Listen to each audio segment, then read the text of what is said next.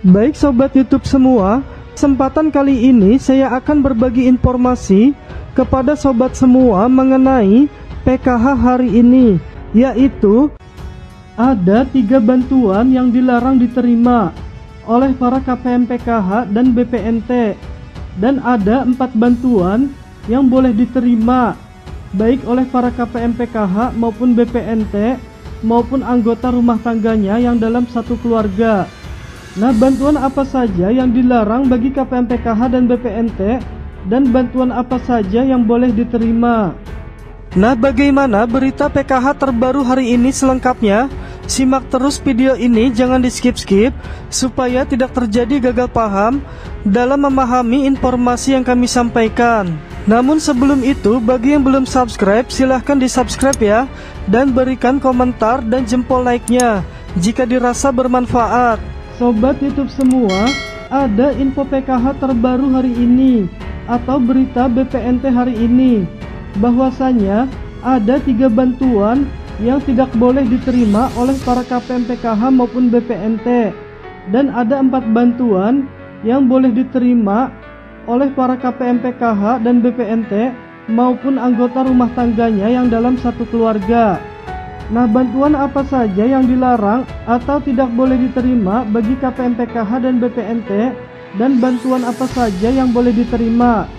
Yaitu ada tiga bantuan yang dilarang diterima dan empat bantuan yang boleh diterima.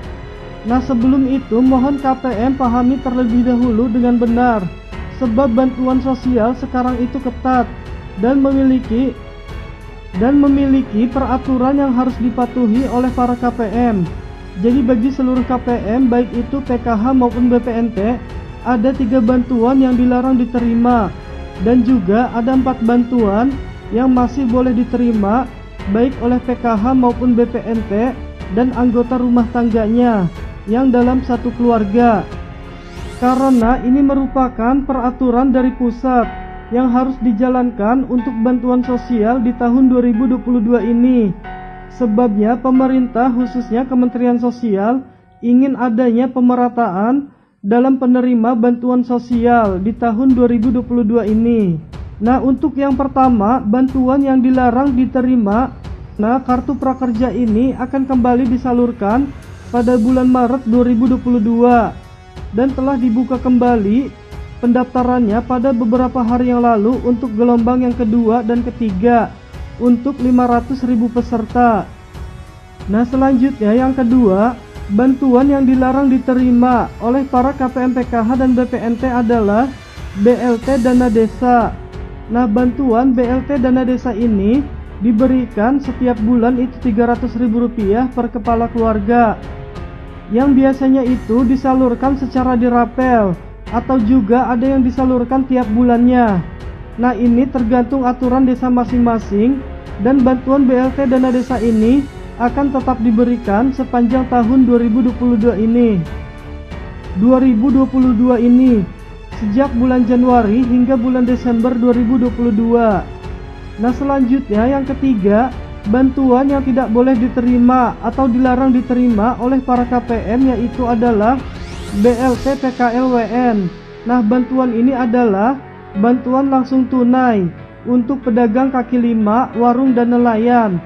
Bantuan ini diberikan sebesar 1,2 juta rupiah untuk per kepala keluarga dengan kuota 1 juta orang bagi yang memiliki warung serta kepada 1,7 juta nelayan dan kategori miskin ekstrim yang di mana yang melakukan pendataan bantuan untuk BLT ini adalah TNI dan Polri. Nah selanjutnya bantuan yang boleh diterima bagi para KPM PKH maupun BPNT yaitu yang pertama ini adalah bantuan PKH tentunya dan yang kedua adalah bantuan BPNT dan yang ketiga adalah bantuan PIP atau bantuan Kartu Indonesia Pintar KIP.